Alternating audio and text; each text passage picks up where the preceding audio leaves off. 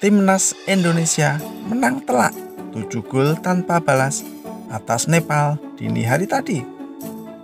Gol Indonesia diukir oleh Dimas Derajat menit 6 dilanjutkan oleh Witan Sulaiman pada menit 43. Lalu Kapten Fahrudin Arianto juga mencetak gol di menit 54.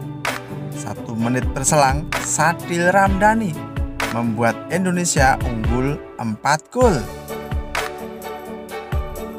Seolah tak mau ketinggalan, back jangkung timnas Indonesia Elkan Bagot juga mencetak gol di laga ini yaitu di menit ke-80.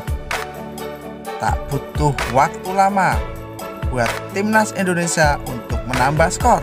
Kali ini melalui Witan Sulaiman satu menit berselang.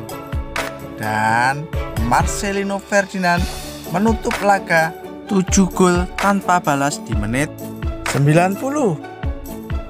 Hasil ini menempatkan Indonesia sebagai runner-up grup dan berhak menemani Yordania lolos ke Piala Asia 2023. Luar biasa. Selamat Timnas Garuda